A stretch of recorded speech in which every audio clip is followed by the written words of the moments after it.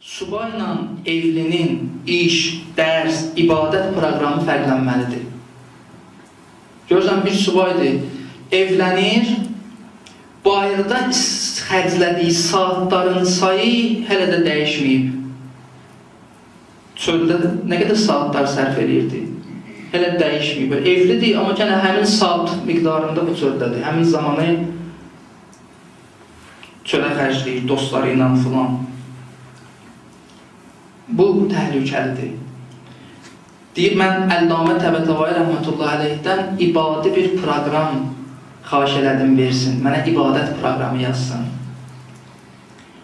Ki, mən neyniyim, hardan başlayayım, nə iş görüm, zikir deyim, deməyim, namaz qılım, məsələn, artıq, oruz filan bu məsələlər. Deyir, Əllamə əvvəl məndən soruşdu ki, evlisən yoxsa subay? Dedim, ağa, bunun nə dəxli var ibadətə? Dedi, çox dəxli var. Subayın bir proqramı var, evlinin başqa proqramı. O proqram ki, subay üçün mən təqdim edirəm, evli üçün təqdim eləmirəm. Evlinin məsuliyyəti daha artıqdır. Ailəsini nəzərə almalıdır. Buna diqqət olunmalıdır. Bir alim danışırdı, deyirdi ki, mən tələbə vaxtında xüsusi proqramım var idi. Evdən çıxırdım səhər tezdən, gedirdim dərsə. Günorta qədər dərsdə olurdum. Namaza biraz qalmış çıxırdım, gələrdim hərəmdə Həzrət Məsumə salamlar İlhanın hərəmində. Namazımı qılırdım, gözləyirdim ki, Ayətullah Bəhcət ki, çıxacaq indi evinə gedəcək. Yolda bəzi suallarımı da ondan soruşum. Bu idi mənim proqramım. Hər gün belə. Bir müddət keçdi, ailə qurdum, proqramı dəyişməmişdim. Elə o minvalla davam edirdim. Deyir, bir gün yenə yaxınlaşdım namazdan sonra ki, ağa evinə gedirdi. Yaxınlaşdım, ağa da bir söz demədən, hansısa başqa bir məsələyə toxunmadan ilk sözü bu oldu ki, e, sən elə proqram budur, elə həmişə bu cürdür, hər gün gəlirsən dərsə, tətil eləmirsən, fasilə vermirsən.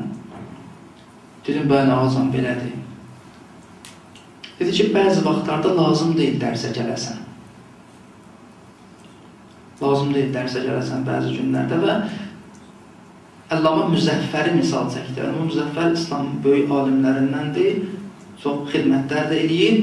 Onun adını çəkdi, dedi ki, Əllamə Müzəffər bəzi vaxtlarda dərsə gəlmirdi. Axşam gedirdi, o dostlarının qeyd, qeydlərindən istifadə edirdi ki, bu gün nə dərs olur, nə qeyd ediblər, ondan istifadə edirdi. Til bu sözü dedi, ağa getdi, mən fikirləşdim ki, bu boş yerə söz deməz. Niyə mən dərsə gəlməyim? Harada düyün var? Bu sözü mənə dedi. Getdim evə, araşdırdım, gördüm ki, xanımım səndimə çox istirabdaymış.